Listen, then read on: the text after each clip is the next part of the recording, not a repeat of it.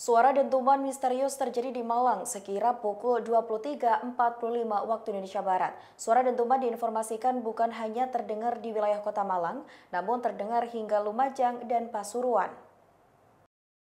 Kepala BPBD Kota Malang, Ali Mulyanto mengatakan pihaknya hingga kini belum mengetahui asal-muasal dentuman tersebut.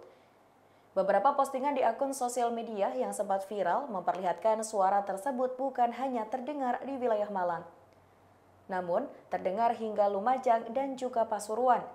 Tim BPBD diinformasikan akan terus menyelidiki asal-muasal suara tersebut. Mengingat, suara dentuman sampai menyebabkan beberapa kaca bergetar. Beberapa menduga bahwa suara tersebut berasal dari aktivitas vulkanik Gunung Semeru.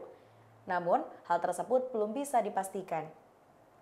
Sementara itu, Kepala Subbagian Data Evaluasi Pelaporan dan Humas TNBTS, Syarif Hidayat mengatakan, berdasarkan laporan yang dia dapatkan, suara dentuman tersebut dipastikan bukan berasal dari Gunung Semeru. Ditinjau dari rekaman seismik menunjukkan aktivitas vulkanik Gunung Semeru dalam keadaan normal.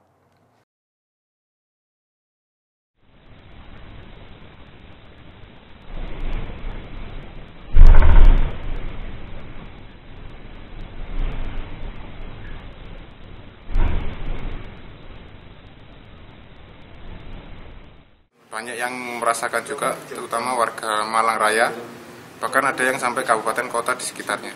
Oke, uh, mulai intensitas jam berapa sampai jam berapa, Mas? Untuk dentuman itu sekitar pukul setengah sepuluh malam sampai jam 3 dini hari. Oke. Uh, bentuknya suaranya seperti apa sih, Mas?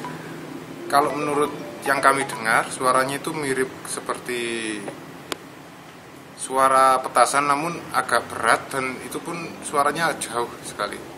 Apakah sudah ada kejelasan mas uh, yang didapatkan dari BPBD? Sampai saat ini kami masih mencari informasi terkait uh, kevalitan datanya kepada instansi terkait.